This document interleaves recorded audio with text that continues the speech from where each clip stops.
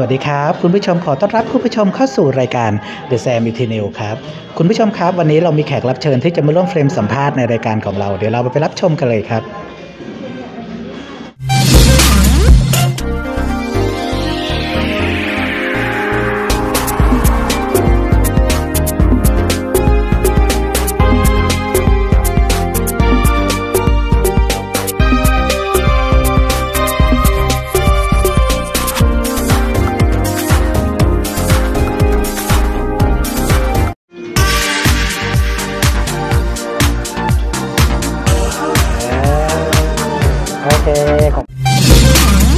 ครับครับคุณผู้ชมครับตอนนี้นาได้รับเกียรตินะจากพี่หน่อยนะครับ มาร่วมเฟรมสัมภาษณ์ในรายการของเราพี่หน่อยสวัสดีครับ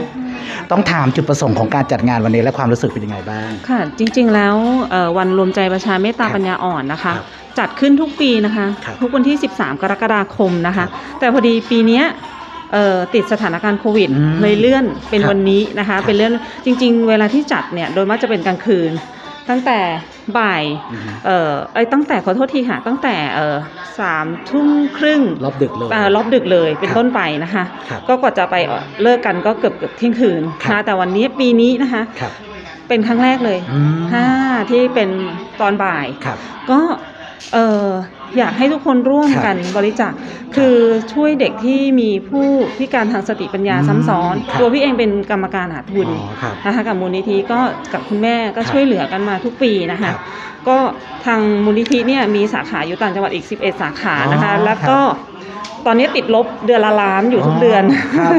นะคะก็อยากเชิญชวนนะคะครับจิตน้ำใจไม่ใช่แค่วันนี้นะคะครับวันอื่นๆก็สามารถบริจาคได้นะคะเสิร์ช Google เลยค่ะ มูลนิธิช่วยคนปัญญาอ่อนแห่งประเทศไทยในในพระบรมราชูปถัมภ์นะครัคะบก็มีองค์สมเด็จพระนิธิถาเจ้านะครัคะบเป็นเอ่อเป็นองค์ประธานครับเอ่ออุปถัมภ์นะครัคะบก็อยากเชิญชวนนะคะได้จุดประสงค์หลักๆ ก็คือ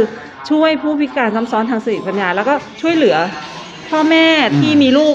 เอ่อพิการทางสติปัญญาแล้วอาย ครับไม่กล้าเอาไปที่ไหนก็ที่อืมนี่เป็นศูนย์เรียนรู้ครับอ่าช่วยสอนให้กินข้าวได้แต่งตัวได้อย่างเงี้ยค่ะนี่คือจุดประสงค์ของที่นี่ได้นะคะ เลย ก็ขอขอบพระคุณทุกท่านด้วยนะคะ ที่